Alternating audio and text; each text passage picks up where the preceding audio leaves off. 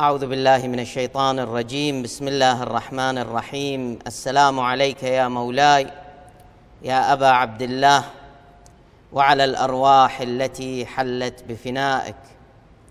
عليك مني سلام الله أبدا ما بقيت وبقي الليل والنهار.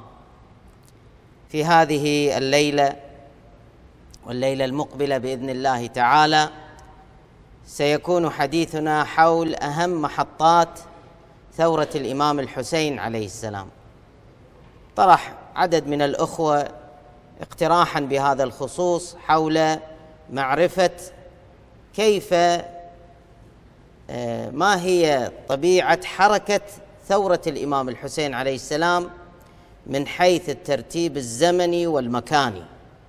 ولذا سنستعين إن شاء الله تعالى من خلال بعض الخرائط وأيضا من خلال آه، تحديد زمني معين سيتضح لنا من خلال الشرائح الآتية. سيتبين لنا كيف كانت محطات ثورة الإمام الحسين عليه السلام ابتداء من شهر رجب من سنة ستين هجرية إلى استشهاده. أول محطة عندنا في الشام حيث معاوية بن أبي سفيان يحكم في دمشق. وبالتالي هناك في دمشق وفي الجنوب المدينة المنورة وإلى الشرق من الشام الكوفة. هذه أهم محطات بالإضافة إلى مكة المكرمة أهم المحطات التي ستكون هي محطات حركة الإمام الحسين عليه السلام وتفاعلات الأحداث المتعلقة بها. نعم هناك محطات سفر ما بين مكة والكوفة. هذه سنتحدث عنها إن شاء الله في ليلة الغد. كما تشاهدون على الشاشة هناك مخطط زمني في الأعلى. ثم هناك إن شاء الله مجموعة من الخرائط تأتي تدريجيا. المخطط الزمني كما ترون الذي ترون باللون الأحمر هو عبارة عن الفترة الزمنية التي انتهت. ثم كلما نمضي بالأيام هذا اللون الأحمر يزداد امتدادا بمعنى أننا مضينا بالأيام إلى الأمام. وبالتالي يقول بعض المؤرخين أنه في النصف الأول من شهر رجب من سنة ستين هجرية مرض معاوية مرضه الذي توفي فيه. كان مرضا شديدا وبالتالي أحس بأن الموت قد اقترب منه ولذا أوصى لابنه يزيد في هذا المرض.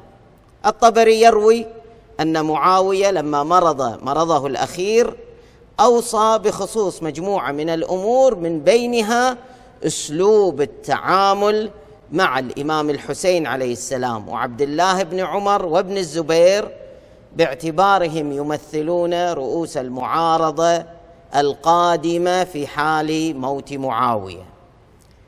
فقال له كيف يتصرف في هذا الظرف؟ فيما لو رفض هؤلاء مبايعته على الخلافة. وفي نفس اليوم بعد هذه الوصية بعد أن تلقاها يزيد خرج من دمشق لرحلة صيد. ويقول بعض المؤرخين أنه في منتصف شهر رجب من سنة ستين هجرية مات معاوية ابن أبي سفيان بينما كان يزيد في تلك الرحلة خارج دمشق. لابد أن أنبه هنا إلى أن بعض التواريخ فيها اختلاف بين المؤرخين أو أحيانا تكون هي عبارة عن استنتاجات. لا تكون دقيقة مئة بالمئة. ولذا ستجدون أحيانا أننا ننبه بأن التاريخ هنا غير دقيق أو محتمل أو بأنه استنتاجي. هذا إن شاء الله يتضح تدريجيا. على كل حال هناك من الروايات ما تقول أن في منتصف رجب كان موت معاوية بن أبي سفيان. وعلى أثر ذلك عندما بلغ يزيد الخبر عاد إلى دمشق ودخل القصر وبويع بالخلافة. هنا قام بعملين رئيسيين لكي يكسب شعبية عند الجماهير الشامية. الأمر الأول وعدهم بغزو العراق. كان هناك ثارات وكان هناك طبعا خلال السنوات الماضية من حكم معاوية كان هناك حالة من عدم الاستقرار الداخلي في الكوفة وفي بعض أنحاء العراق. قد لا يكون بشكل ثورة ولكن ما كانت النفوس راضية. ثم هناك ثارات قديمة من عهد الإمام الحسن والإمام علي عليه السلام وبالتالي كأن من أجل كسب شعبية, شعبية. عند الناس في الشام يزيد بن معاوية وعد أهل الشام بغزو العراق قريبا. الأمر الآخر أنه فتح أبواب بيت المال وأغدق على الناس اموالا هائلة. وبالتالي هنا في الشام الأمور استقرت. ثم فورا كتب رسائل إلى الأمصار إلى الولايات الرئيسية الإسلامية. هذه الرسائل تخبر يخبر فيها بأن معاوية قد مات وأن يزيد أصبح الآن خليفة وأنه لابد من أخذ البيعة من الناس ليزيد بن معاوية. ولكن كان كل تفكيره كما أوصاه أبوه كل تفكيره وهمه ينصب على المدينة المنورة باعتبار أن في المدينة أولئك الذين ذكرنا أسماءهم وبالتالي كان قلقا من هذه الناحية. ولذا بخصوص المدينة أرسل رسالتين الرسالة الأولى التي ستكون علنيه وتقرأ على الناس والرسالة الثانية صغيرة حتى شبهت كأنها أذن فأرة يعني من حجمها الصغير. هذه رسالة سرية صغيرة كتب فيها يزيد بن معاوية ما يلي. أما بعد يقول لوالي المدينة أما بعد فخذ حسينا وعبد الله بن عمر وعبد الله بن الزبير بالبيعة أخذا شديدا ليست فيه رخصة. فمن أبى عليك منهم فاضرب عنقه وابعث إلي برأسه. هذا المضمون الخطير في هذه الرسالة هو الذي استدعى أن تكون الرسالة سرية بهذا الشكل. الآن ننزل جنوبا من الشام إلى المدينة المنورة وفي المدينة المنورة هناك سنعرف ماذا جرى عندما وصلت تلك الرسالة. اذا الآن نحن في الجزيرة العربية في المدينة المنورة في يوم 26 رجب من سنة 60 هجرية. وصلت الرسالتان إلى والي الأمويين في المدينة المنورة. هنا الوالي اضطرب. الأمر ليس بهين أن يواجه الحسين وابن الزبير وابن عمر بمثل هذا الأمر. لعل ابن عمر يعني امره أهون من غيره ولكن بخصوص الحسين وابن الزبير الأمر مقلق بالنسبة إليه ولذا استدعى مروان ليستشير في هذا الأمر. وفعلا مروان قال له أرسل إليهم ولكن لا تخبرهم عندما ترسل إليهم لا تخبرهم ما الأمر فقط استدعهم فإذا جاءوك حين ذاك أطلعهم على الأمر وطالبهم بالبيعة في نفس المجلس وليس ضمن البيعة العامة التي تتم مع الناس. فإن أبوا فاقتلهم في نفس المجلس. لا تسمح لهم بالخروج لأنهم سيجيشون الناس ضدك. هذه كانت توصية مروان بن الحكم لوالي المدينة. وفعلا أول شخص تم استدعائه هو الإمام الحسين عليه السلام. هنا الإمام كما جاء في الرواية خرج وفي يده عصا رسول الله صلى الله عليه وآله. وخرج ومعه ثلاثين رجل ثلاثون رجلا من أهل بيته وقال لهم إني داخل فإن دعوتكم أو سمعتم صوتي قد علا فاقتحموا علي بأجمعكم وإلا فلا تبرحوا حتى أخرج إليكم. فإذا الإمام كان حاس بأن الوضع غير طبيعي وكان الاستدعاء في الليل وبالتالي أحس الإمام أن الوضع غير طبيعي وطلب ممن معه أن يخرجوا معه وأن يكونوا على أهبة الاستعداد فيما لو احتاج إليهم. دخل الإمام الحسين عليه السلام على والي المدينة وهناك عرض عليه والد والي المدينة ما جرى وطلب منه أن يبايعه مبايعة ليزيد بن معاوية. الإمام الحسين عليه السلام قال أنا لا أبايع سرا. إذا أردت أن أبايع بيعتي لابد أن تكون علنيه فأنا لا أبايع سرا هنا وأمهلني إلى الغد عندما تريد أن تأخذ البيعه من الناس حين ذاك نرى ماذا يحصل. وفعلا الوالي هنا قبل كلام الإمام الحسين عليه السلام ولكن مروان لم يقبل ذلك.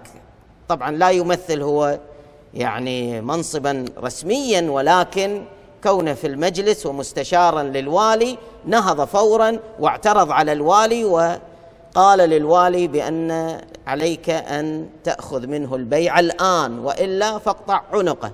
طبعا الإمام الحسين عليه السلام هنا تكلم بحده مع مروان وهدد مروان ووبخه توبيخا عنيفا وخرج عليه السلام من مجلس الوالي دون أن يبايع. الشخص الثاني الذي تم استدعائه هو عبد الله بن الزبير.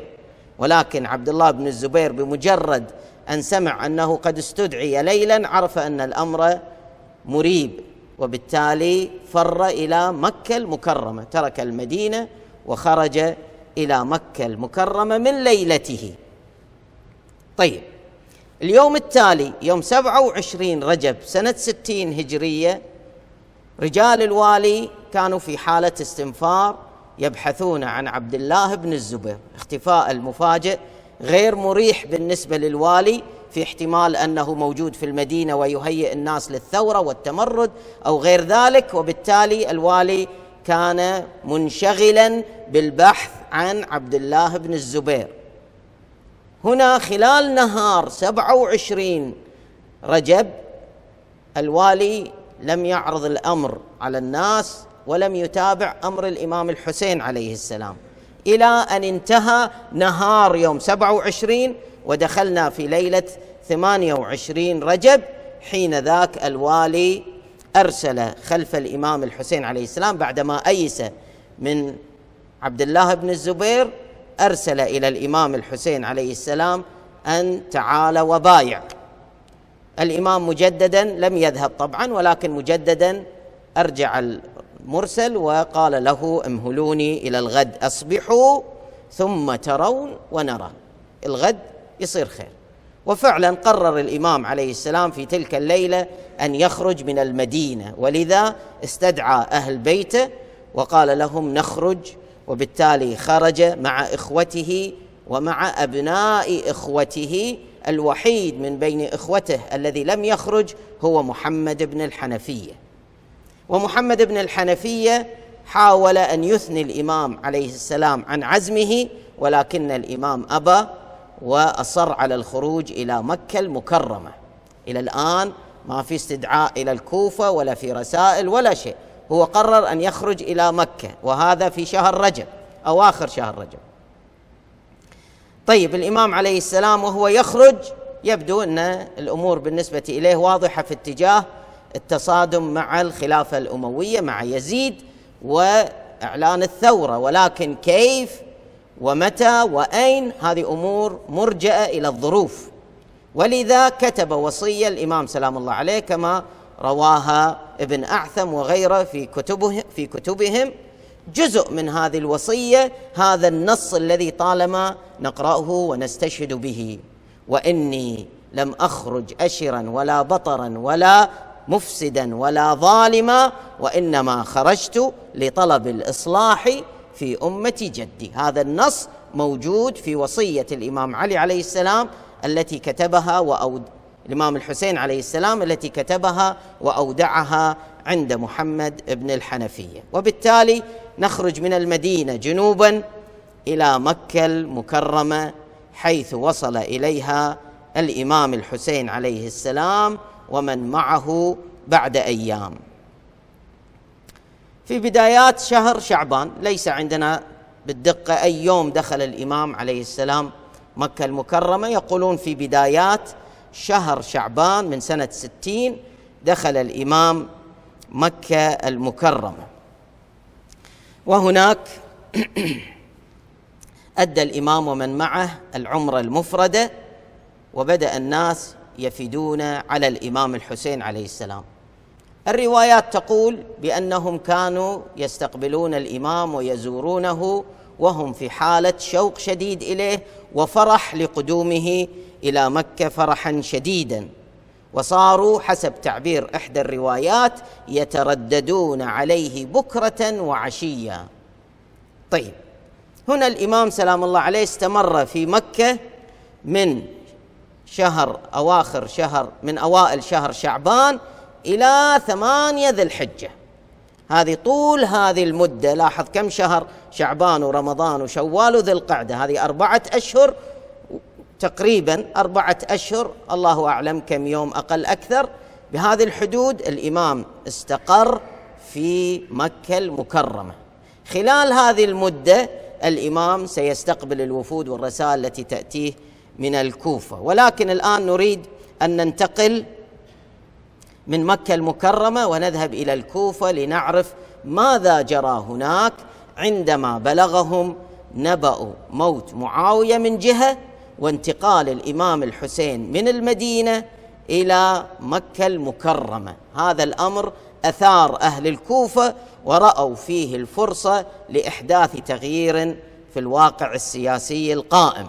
ولذا يقولون أنه في أواخر شهر شعبان من سنة ستين هجرية بلغهم نبأ وصول الإمام الحسين إلى مكة واستقراره في مكة. الآن من الذي أوصل الخبر؟ هل مبعوث من قبل الإمام الحسين عليه السلام؟ هل هم المعتمرون الذين كانوا ينتقلون بشكل طبيعي ودائم ما بين المدينتين؟ الأمر غير واضح ولعل الإمام أرسل إليهم الخبر. على كل حال في أواخر شهر شعبان كان بلوغ الخبر ولذا عقدوا اجتماعا فوريا بمجرد وصول هذا الأمر عقدوا اجتماعا فوريا. والذي كان يترأس هذه الحركة سليمان بن صرد الخزاعي. وسليمان هذا سيكون قائد لثورة التوابين بعد استشهاد الإمام الحسين عليه السلام لأنه كان مسجونا في سجن الأمويين خلال أحداث كربلاء. وبالتالي خرج من السجن بعد ذلك وانتفض في ما يعرف بثورة التوابين. سليمان جمع أقطاب المعارضة في الكوفة وعرض عليهم الأمر. عندما تكامل عدد المعارضين في الكوفة وقف سليمان وخطب فيهم وطالبهم بمكاتبة الإمام الحسين عليه السلام ليقدم إلى الكوفة إن كانوا فعلا مستعدين لنصرة الإمام الحسين عليه السلام. وفعلا كتبوا كتابا. هذا أول رسالة هذه. أول رسالة كتبت للإمام الحسين عليه السلام ضمن هذا المجلس المنعقد في دار سليمان بن صرد. ولذا ننتقل الآن من الكوفة نعود مجددا إلى مكة. الرسالة تم إرسالها مع مبعوث خاص ووصل هذا المبعوث إلى الإمام الحسين عليه السلام. بالتحديد لا نعرف ولكن يقولون في أوائل شهر رمضان يعني مسافة الطريق من الكوفة إلى مكة المكرمة. الرواية تقول بأن الإمام الحسين استلم الرسالة قرأها وسكت ولم يعلق على مضمونها ولم يبدي تفاعلا معها ولم يبدي أيضا أي ردة فعل سلبية تجاه هذه الرسالة. ولكن خلال الأيام الماضية اللاحقة مع مضي الأيام بدأت تتوالى رسائل أخرى من أهل الكوفة مع مبعوثين من أهل الكوفة. تقول احدى الروايات أن عدد الرسائل عدد الرسل بلغ 150 رجلا ومع كل واحد منهم رسالة من رجلين أو ثلاثة أو أربعة. يسألونه القدوم عليهم والإمام لا يجيبهم بشيء. إذا توالت الرسل إلى الآن الإمام غير مطمئن إلى مدى استعداد أولئك القوم لنصرته في حركته هذا ولكن وصلت رسالة في النهاية في خلال شهر رمضان وصلت رسالة إلى الإمام سلام الله عليه هذه الرسالة استفسر الإمام من كتبها من أصحابها. فقالوا له اجتمعوا عليه يعني اجتمعوا اجتمع على الكتاب على الرسالة اجتمع عليه شبث بن ربعي وحجار بن أبجر. إذا تذكرون في الليالي الأولى تحدث في الليلة الأولى بالدقة تحدثنا عن شبث وعن حجار. وبعض هذه الأسماء هؤلاء يمثلون سادة قبائل وكان لهم امتداد عريض في الكوفة وخارج الكوفة. وبالتالي عندما ذكرت هذه الأسماء عند الإمام الحسين وضمها إلى كل الرسائل السابقة التي جاءته حين ذاك الإمام عليه السلام أخذ قراره في التوجه إلى الكوفة. يقول اجتمع عليه يعني على الكتاب شبث بن ربعي وحجار بن أبجر ويزيد بن الحارث ويزيد بن رويم وعروة بن قيس وعمرو بن الحجاج ومحمد بن عمير بن عطارد. هنا حسب الرواية نهض الإمام الحسين عليه السلام فورا وتطهر توضأ وصلى ركعتين بين الركن والمقام. وسأل الله سبحانه وتعالى الخير ثم بادر إلى كتابة كتاب إلى أهل الكوفة يخبرهم في هذه الرسالة بأنه قد عقد عزمه على القدوم إلى الكوفة وأن عليهم أن ينصروه وأنه سيرسل مع هذا الكتاب مسلم بن عقيل وهو ابن عمه وثقته وعليهم أن يبايعوا مسلما على النصرة مبايعة للإمام الحسين عليه السلام. في خمسة عشر رمضان بالدقة في سنة ستين هجرية تحرك مسلم ابن عقيل نحو الكوفة.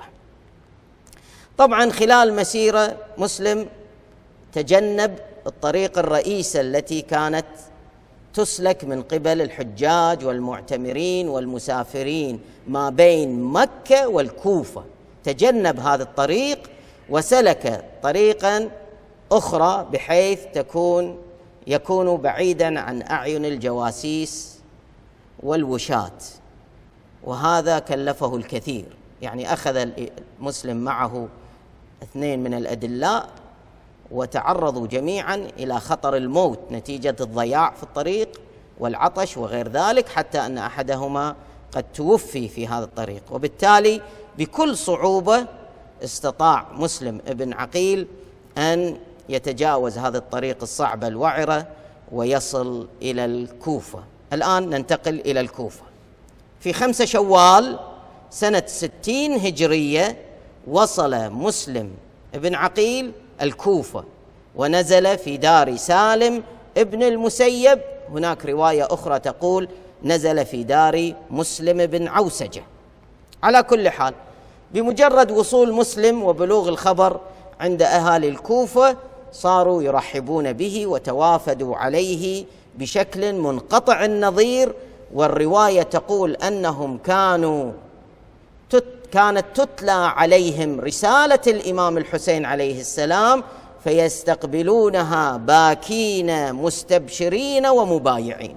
بهذه الحالة من استقبال هذه الرسالة ورسول الإمام الحسين وهو مسلم بن عقيل. الآن دخلنا طبعا تعدينا تاريخ خمسة شوال دخلنا قليلا أكثر في شهر شوال.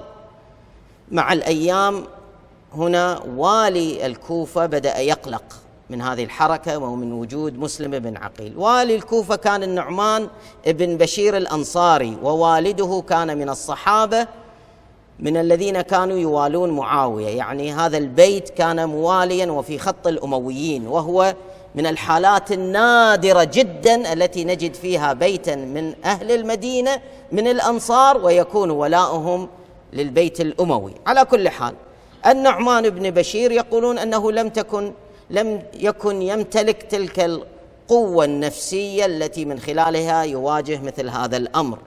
ولذا حاول بطرق سلمية وبكل هدوء أن يثني أهل الكوفة عن مبايعة مسلم بن عقيل والإمام الحسين عليه السلام إلا أن كل محاولاته باءت بالفشل. ثم قرر أن يخطب في الناس وعندما خطب في أهل الكوفة قال لهم بأن ما تقدمون عليه بمثابة التمرد على الخليفة الشرعي وهذا تمرد على إمام الزمان الذي بايعتموه وبالتالي لا يحق لكم أن تخلقوا تخلعوا بيعتكم ليزيد بن معاوية وأن هذه فتنة. ووعدهم أنهم إن لم يقاتلوه ألا يقاتلهم ويتركهم في سلام. ولكنه لا يضمن لهم ماذا ستحمل الأيام من ردود فعل من قبل الخلافة. أحد جواسيس الأمويين أو رجالات الأمويين في الكوفة انزعج من موقف الوالي.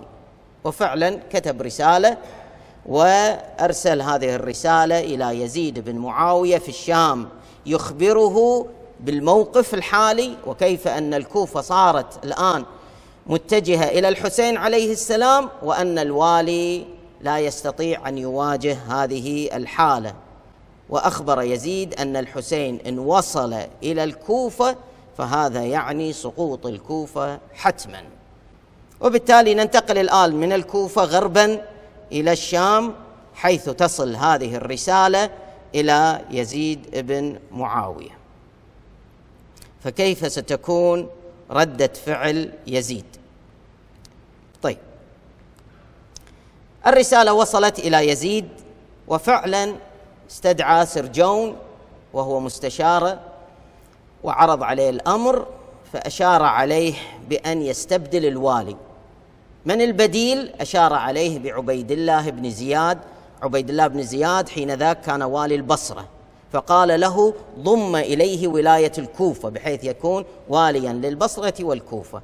اعزل آه، الأنصاري وعين عبيد الله بن زياد واصدر امرا في نفس الكتاب بقتل مسلم بن عقيل. كي تتخلص من هذه الفتنة. ننتقل الآن من الشام إلى البصرة حيث عبيد الله بن زياد ستصل إليه الرسالة. ولكن قبل وصول رسالة يزيد إلى عبيد الله بن زياد كانت هناك رسائل قد وصلت من الإمام الحسين عليه السلام إلى البصرة. فماذا جرى في البصرة؟ كان الإمام عليه السلام قد أرسل مجموعة رسائل إلى عدد من رؤساء القبائل من الشخصيات الكبيرة التي كان يعرف لها شيء من الولاء لعلي بن أبي طالب عليه السلام. أرسل إليهم رسائل يطلب في هذه الرسائل النصرة إن هو ذهب إلى الكوفة أن تتحرك الجماهير من البصرة وتنضم إلى ثوار الكوفة بحيث يكون هناك مدد أكبر في نصرة هذه الثورة. من هذه الأسماء الأحنف بن قيس وهو معروف في ولاء للإمام علي عليه السلام. ولكن هؤلاء القوم لم يبدوا أي تفاعل إيجابي مع رسائل الإمام الحسين عليه السلام وتملكهم الخوف. إلا أن واحدا منهم وهو المنذر بن الجارود وهذا لا قصة مع الإمام علي عليه السلام وجانب من هذه القصة في نهج البلاغة موجود في بعض الكتب. على كل حال المنذر بن الجارود هذا كان أبو زوجة عبيد الله بن زياد. يعني عبيد الله بن زياد نسيبه صهره يصير. فهذا أخذ الرسالة وراح إلى صهره وقال له بأن هناك رسالة وصلت إلي من الحسين يطلب فيها النصره وأن فلان الفلاني هو الذي جاء بهذه الرسالة. طيب هنا عبيد الله بن زياد استشاط غضبا غضبا وأمر باعتقال هذا المرسل من قبل الإمام الحسين وإعدامه فورا. فعلا تم إعدامه وبالتالي وقف عبيد الله بن زياد بعد أن أعدم هذا المرسل وصلبه أمام الناس صعد المنبر خطيبا مهددا ومخوفا قال لهم سآخذ البريء بجريرة المتهم صاحب الذنب. أي واحد ينهض ضدي ضد الدولة الأموية سآخذه وسآخذ من أهل بيته وأعوانه ومواليه من أشاء. سأنكل فيكم أشد تنكيل. لا أحد يتحرك نصرة للحسين عليه السلام. سيأخذ القاصي بجريرة الداني. هذا التعبير هذا الكلام أدخل الخوف في قلوب الناس وبالتالي لم يتحرك أحد لنصرة الإمام الحسين عليه السلام. انتهينا الآن تقريبا من شهر شوال من سنة ستين للهجرة. في هذه الأيام أيضا وصلت رسالة يزيد بن معاوية إلى عبيد الله بن زياد. وفي هذه الرسالة طلب بأن ينتقل إلى الكوفة ليستلم الولاية فيها أيضا هناك. وأن يقمع التمرد فورا وأن يلقي القبض على مسلم بن عقيل ويعدمه. فعلا ابن زياد في أوائل ذي القعدة يخرج من البصرة مع بعض معاونيه ويتوجه إلى الكوفة. اذا الآن نحن عند الكوفة. عندما اقترب من الكوفة قريب أن يدخل الكوفة أراد أن يعني يختبر الناس ابن زياد. فغير طريقة لباسه ولبس بطريقة بحيث يوحي بأنه جاء من الحجاز. تعرفون يعني حتى الآن مثلا الثوب الدشداشة عندنا مثلا إحنا في الكويت غير عن مثلا في الحجاز غير عنها في قطر غير كذا.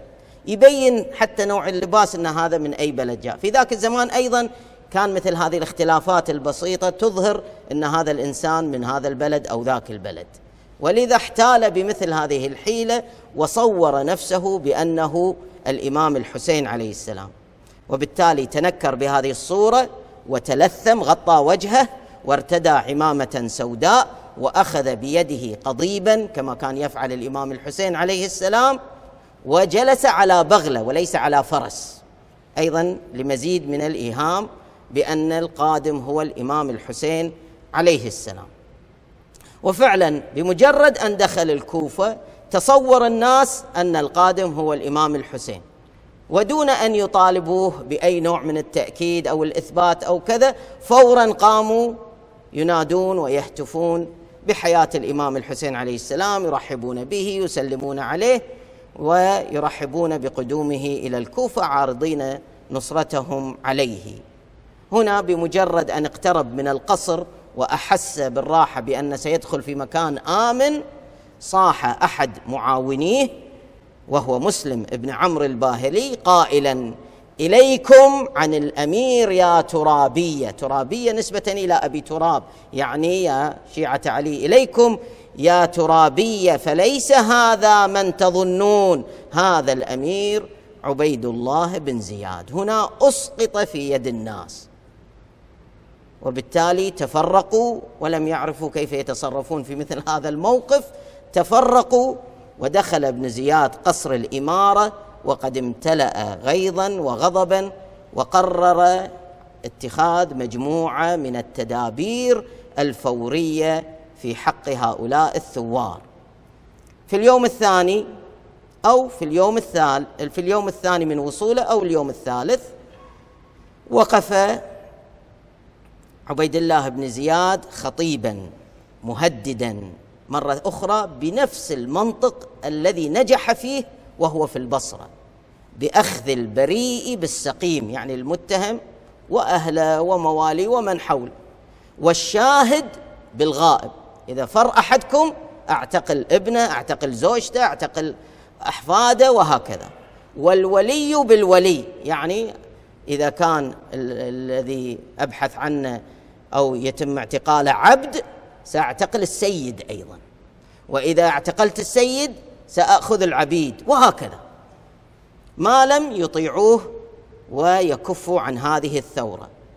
هذا الكلام ما أثر على الثوار في الكوفة واستمروا في إعلان نصرتهم للإمام الحسين والتوافد على مسلم بن عقيل ومسلم يكتب أسماءهم ويأخذ عليهم العهود والمواثيق. في رواية تقول أن عدد الذين تم تدوين أسماءهم في الأوراق في السجلات للثوار بلغ تقريبا 12 ألفا. ورواية أخرى تقول بأن عددهم بلغ عشرين ألفا. هنا عبيد الله بن زياد أمر بإلقاء القبض على مسلم بن عقيل فمسلم خرج من البيت الذي كان يستقر فيه ويعرفه الناس واختبأ في دار هانئ بن عروة المرادي كنوع من الإجراء الاحترازي.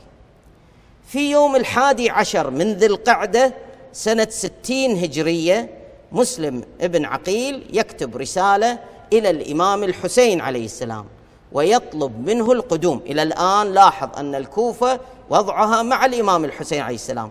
والعدد بلغ 12 أو عشرين ألف مناصر. ولذا كتب رسالة والرسالة جدا مشجعة. يقول فيها أما بعد فإن الرائد لا يكذب أهله. جمع أهل الكوفة معك فأقبل حين تقرأ كتابي. والسلام عليك. هذه الرسالة صدرت في شهر ذي القعدة في بدايات شهر ذي القعدة والإمام عليه السلام ما زال في مكة المكرمة. استمر الوضع في الكوفة على ما هو عليه قرابة الشهر. مسلم مختبئ في دار هانئ. الأوضاع ما زالت لصالح الإمام الحسين عليه السلام إلى أوائل ذي الحجة سنة ستين هجرية. هنا كان مسلم في دار هانئ هانئ يصاب بوعكة صحية هانئ كان يعني كانت له نوع من العلاقة سابقا مع عبيد الله بن زياد ومع زياد بن سمية وبالتالي عبيد الله بن زياد يزور هانئ. هنا كانت فرصة لأن يقوم مسلم باغتيال عبيد الله بن زياد عندما عرف أن عبيد الله سيأتي. هنا بين أيدينا روايتان. الرواية الأولى تقول أن هانئ اعترض قال لا. إن اغتلت عبيد الله بن زياد وفشل الاغتيال أو حصل ما حصل لربما نسائي أطفالي كذا يتأذون بسبب هذا وأنا لا أقبل أن يتم هذا الأمر في بيتي. الرواية الثانية تقول لا أن مسلم بن عقيل كره الغدر وقال أنا لا أقوم بمثل هذا الأمر أو أنه في اللحظات الأخيرة تردد وقرر عدم الفتك بعبيد الله بن زياد. مبعوث مسلم للإمام الحسين عليه السلام في هذه الفترة كان قد تم إلقاء القبض عليه ومعه الرسالة من مسلم بن عقيل. طبعا هناك أكثر من رسالة. هناك أكثر من رسالة أرسلت من قبل مسلم. هذه إحدى الرسائل كانت مع عبد الله بن يقطين ويطلب فيها مسلم تعجيل القدوم ولذا لما تم إلقاء القبض عليه وعرفت الرسالة قدم لابن زياد استجوبه ثم أمر بقطع رأسه.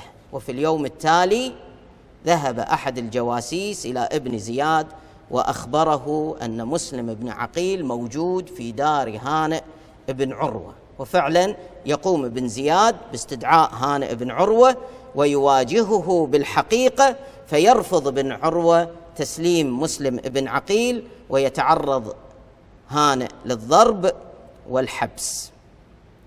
في السابع أو الثامن من ذي الحجة وهذا التاريخ موازي لتاريخ لحركة الإمام الحسين عليه السلام لاحقا.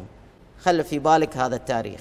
سبعة أو ثمانية ذي الحجة إذا ثمانية فهو يوم التروية. اليوم الذي يذهب فيه الحجاج إلى منى ثم إلى عرفات في اليوم التاسع. ففي يوم السابع أو الثامن من ذي الحجة سنة ستين لكن نحن في الكوفة. مسلم يجمع الأنصار الذين عاهدوه على نصرة الحسين عليه السلام. آلاف يقولون من المستعدين للقتال توجهوا إلى قصر الإمارة. وهناك حصلت بعض المناوشات مع أنصار بن زياد ومع العسكر. ثم استدعى عبيد الله بن زياد بعض رؤساء القبائل مثل شبث بن ربعي وآخرون استدعاهم من أجل تفتيت هؤلاء الذين كانوا قد جاءوا لنصرة الحسين عليه السلام. فصعدوا إلى أعلى القصر وصار كل واحد منهم يخاطب قومه ويعدل ويحاول أن يعدلهم عن رأيهم في نصرة الإمام الحسين. وفعلا نجحوا في هذه المهمة لا سيما عندما خوفوهم بأن جيش الشام الذي لا يرحم في طريقه إلى الكوفة. وحين ذاك وقعت البلبلة في صفوف الناس وصار البعض ينسحب وصارت بعض النساء تأتي وتطلب المرأة من زوجها أو ابنها آه، عدم التدخل في هذا الأمر. وفعلا بدأ الناس يتفرقون عن مسلم بن عقيل في ذلك الموقف.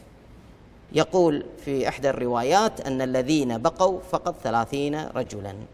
هنا مسلم بن عقيل يذهب للصلاة ومعه الثلاثون يتفرقون عنه ويبقى هو وحده يتوجه إلى بيت طوعة وهناك يستقر تلك الليلة في بيت طوعة ثم ابنها يذهب ويخبر ابن زياد وفي اليوم التالي يتم إلقاء القبض على مسلم بن عقيل بعد قتال ويصاب مسلم بن عقيل ثم يؤخذ ويقطع رأسه وبعد ذلك يلقى من أعلى القصر ثم يؤخذ هانئ بن عروة إلى السوق مكتوفا وأمام الناس يقطع رأسه ثم يجر في الطرقات والأسواق أمام الناس. طبعا هانئ بن عروة سيد من سادات الكوفة وبالتالي عندما يفعل بهذا يدخل الرعب في قلوب الناس بشكل أكثر. هنا فورا عبيد الله بن زياد يرسل رسالة إلى يزيد بن معاوية يخبره بما فعل ومع الرسالة رأس مسلم بن عقيل ورأس هانئ بن عروة كما تقول إحدى الروايات. الآن نذهب إلى الشام حيث تصل الرسالة في النصف الثاني من شهر ذي الحجة وهذا تخمين يعني ما عندنا رقم دقيق تاريخ دقيق لكن احتمال انه يكون في النصف الثاني من ذي الحجة من سنة 60 هجرية. الرسالة تصل الرأسان يصلان إلى يزيد يبارك يزيد هذه الخطوة ويطالب في رسالة يطالب بتشديد الرقابة الحدودية والأخذ بالظن بالظن والشبهة. يقول في الرسالة وإنه قد بلغني أن الحسين بن علي قد توجه نحو العراق فضع المناظر والمسالح واحترس على الظن وخذ على التهمة غير الا تقاتل إلا من قاتلك واكتب إلي في كل ما يحدث من الخبر. الآن ننتقل إلى مكة المكرمة حيث الإمام الحسين عليه السلام وقد دخل شهر ذي الحجة من سنة ستين هجرية. هنا يبدو أن خبر وصل إلى الإمام أن هناك مؤامرة لاغتياله يعني صدر أمر أموي بأن يتم اغتيال الإمام وهو في مكة ففضل أن يترك الحرم المكي كي لا يستباح الحرم المكي بدمه الشريف. وجلس مع ابن الزبير واستشاره في هذا الأمر ابن الزبير شجعه على الخروج ثم ندم ابن الزبير حتى لا يتهم بأنه يريد التخلص من الإمام الحسين وبالتالي قال يعني تراجع عن كلامه. لكن الإمام كان قد عقد العزم على الخروج وفعلا في يوم الثامن من ذي الحجة. يعني نفس اليوم اللي تكلمنا عنه هناك في يوم الثامن من ذي الحجة خرج الإمام الحسين عليه السلام بمن معه من أهل بيته من مكة المكرمة. ومن أنصاره متجهين إلى الكوفة. إذا نغادر مكة المكرمة ونصل في موقع ما من الجزيرة العربية حيث وادي الرمة. منطقة معروفة لاحظوا هذه منطقة خضراء. هناك يعني هو وادي وهناك عيون ماء إلى آخره فهي محطة مهمة كانت ملتقى رحال المسافرين من البصرة والكوفة في قدومهم إلى مكة والعكس. لاحظوا ترتيب الأماكن مكة المدينة وادي الرمة والكوفة. طبعا المغادر من مكة لا يذهب إلى المدينة. هناك طريق نجدية طريق الصحراوي الذي يتجهون فيه إلى وادي الرمة ثم باتجاه الكوفة. لما وصل الإمام الحاجر من بطن الرمة بعث قيس بن مسهر الصيداوي إلى أهل الكوفة يخبرهم بقدومه. إلى الآن الإمام لا يعلم ماذا جرى في الكوفة وحال مسلم وحال هانئ وغير ذلك. إلى الآن الأمور غير واضحة ولكن الإمام يرسل أنه آت في الطريق ويطالبهم بالصبر وانتظار وصوله. ماذا جرى بعد ذلك؟ هذا ما سنعرفه إن شاء الله في الليلة المقبلة. السلام على الحسين وعلى علي بن الحسين وعلى أولاد الحسين وعلى أصحاب الحسين جميعا ورحمة الله وبركاته.